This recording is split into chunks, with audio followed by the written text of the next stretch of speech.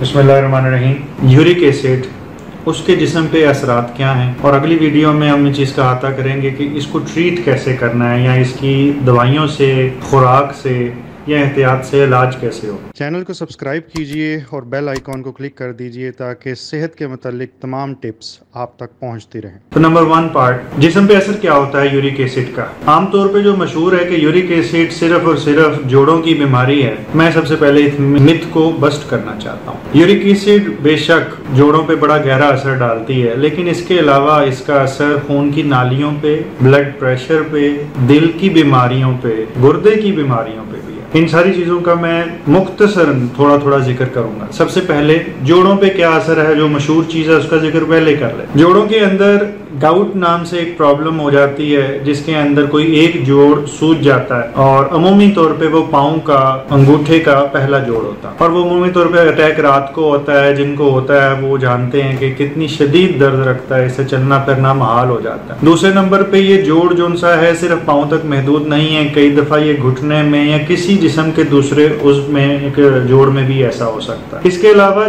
बाजकात ये दर्द किसी एक जोड़ तक इस तरह महदूद नहीं रहती और जर्नलाइज होती है। छोटे छोटे जोड़ों में और बड़े जोड़ों में मिल के हो रही होती है। कई दफ़ा ये जोड़ों में और बाकी पट्टों में डिस्ट्रीब्यूटेड होती है। और जनरलाइज पूरा जिसम आमतौर पर लोग ज़िक्र करते हैं, जिसम ही फोड़ा बन गया। यानी पूरे जिसम में दर्द हो वो भी बाज़ात यूरिक एसिड से एसोसिएटेड है, लेकिन उसको डिफ्रेंशिएट कुछ फाइब्रोमाइल्जिया और दूसरी कंडीशन से करना होता है, जो आपका फिजिशियन अगर प्रॉपरली ट्रेंड है तो वो कर सकता है। इसके अलावा यूरिक एसिड के साथ कुछ जिसम के अंदर स्पॉट्स भी बन जाते हैं रेज्ड एरियाज़ बन जाते हैं, उनको टोफाई कहते हैं। वो यूरिक एसिड के मटेरियल के जुड़ने की वजह से एक मटेरियल डिपॉजिट हो जाता है, जोड़ों और उंगलियों के आसपास या जोड़ों के आसपास ऊपर की जानब से। और वो महसूस भी हो सकता है और देखा भी जा सकता है। वो एडवांस स्टेज की बात है। गाउट को अमूमी तौर पे तीन स्टेजेस में डिवाइड किया जाता है। एक वो जो इनिशियल फ़ेज़ है, एक दरमियानी फ़ेज़ जिसमें अटैक बार बार आते हैं और एक वो जिसमें वो जाते हैं जान ही नहीं छोड़ इसके अलावा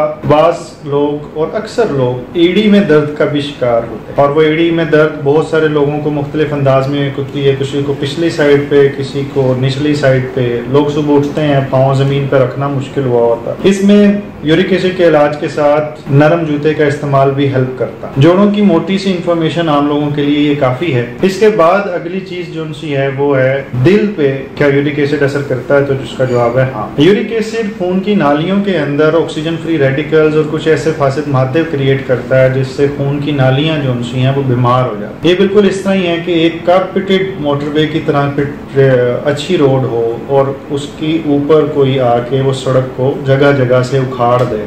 किसी भी वजह से तो उसकी वजह से बम्पी राइड हो जाती है, गाड़ियाँ मुश्किल से गुजरती हैं। यूरिक एसिड भी खून की नालियों के साथ इस तरह का ही स्लो उसकी वजह से जगह जगह खून के लोथड़े जमना भी शुरू हो जाते हैं। इसको वेस्कुलोपैथी भी कहते हैं। और वो खून के लोथड़े जो उनसे हैं, वो टूटना भी शुरू हो जाते हैं, जिनको हम अथेरोस्क्लेरोटिक डिज़ीज़ भी कहते हैं, और उसकी वजह से myocardial infection acute coronary syndrome जिसम की दूसरी खून की नालियाँ जो टांगों या बाजों को सप्लाई कर रही हैं, उनका भी प्रॉब्लम हो सकता है। इसके बाद यूरिक एसिड का ताल्लुक हमारे वज़न की ज्यादती और कमी से भी है। अगर हमारा वज़न ज़्यादा है और ये चिकनाई जो सी इजाफी हो के जिगर के अंदर भी जम रही है तो हमें अर्ली मेटाबॉलिक सिंड्रोम शुरू होता है। उससे यूरिक एसिड बढ़ता है, वज़न बढ़ता है, कुछ खून के अंदर चिकनाई की खास तनासुर बढ़ता है। इसके साथ साथ मैं ये भी ज़िक्र करना चाहूँगा कि जब भी चिकनाई का टेस्ट कराएँ, पाकिस्तान में तो सिर्फ़ कोलेस्ट्रॉल देखा जाता है, ऐसा मत करें। पूरी लिपिड की प्रोफ़ाइल करें, क्योंकि अमूमी तौर पर उसके तीसरे नंबर पर लिखी हुई कोलेस्ट्रॉल की टाइप एल वो ज़्यादातर फसाद पैदा कर रही होती है। इसके बाद गुर्दे के ऊपर इसका क्या असर आता है?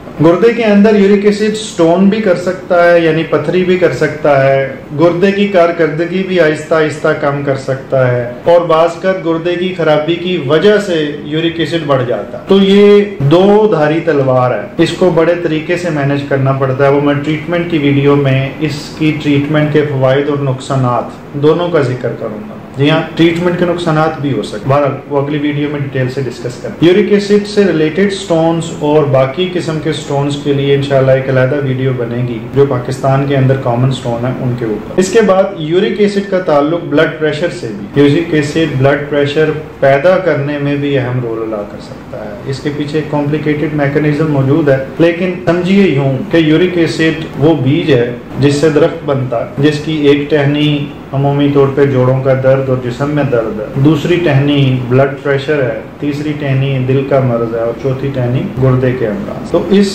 सारे जो सदरख्त है, इसको पनपने से पहले और ताकतवर होने से पहले ही अगर यूरिक एसिड कंट्रोल कर लिया जाए, खुराक से, इलाज से, एहतियात से तो इन चीज़ों को प्रिवेंट किया जाए। अपना बहुत ख्याल रखिएगा। शुक्रिया।